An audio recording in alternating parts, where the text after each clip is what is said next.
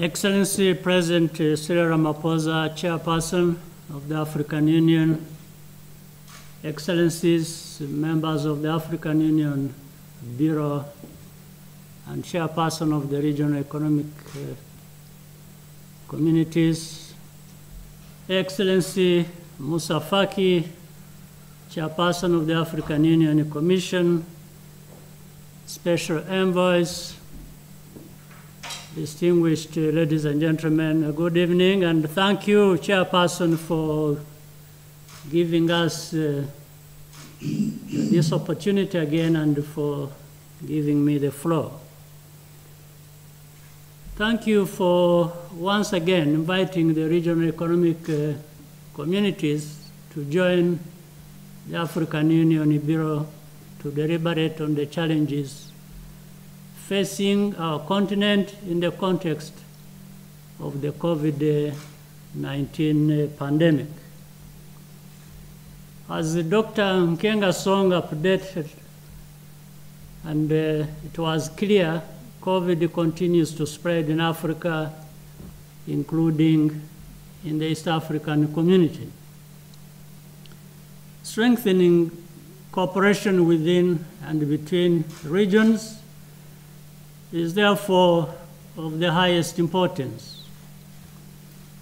The successful launch of the African Medical Supplies Platform shows how much can be achieved by working together and the dedication of the actors is also clear.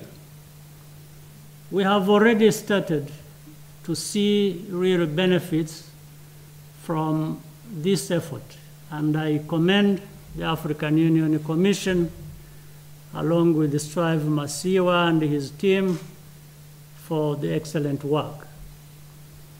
I would like to request uh, the chairperson to consider appointing one of the heads of state to work closely with Strive, who is already on the task to focus on ensuring that Africa obtains the vaccine once it is available. I think the details and importance of that uh, have already been uh, presented by many speakers. I want to go deeper into details, but I was thinking if chairperson, either one of the members of the Bureau or any head of state you wish to pursue that particular task, uh, it will be helpful uh, to exactly achieve what was talked about.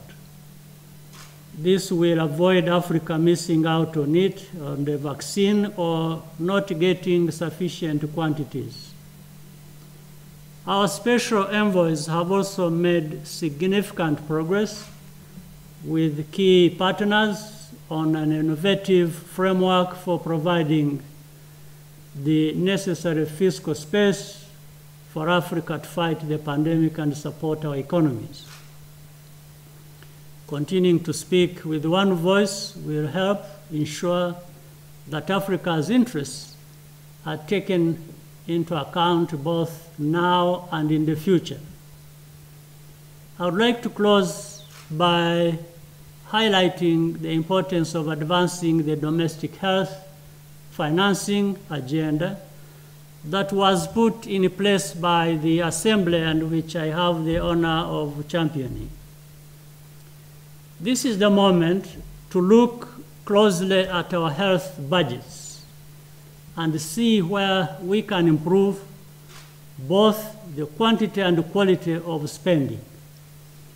Ultimately, the best defense against the COVID pandemic as well as the future health emergencies is a strong, resilient, and sustainable health system. Chairperson, Excellencies, thank you for your attention.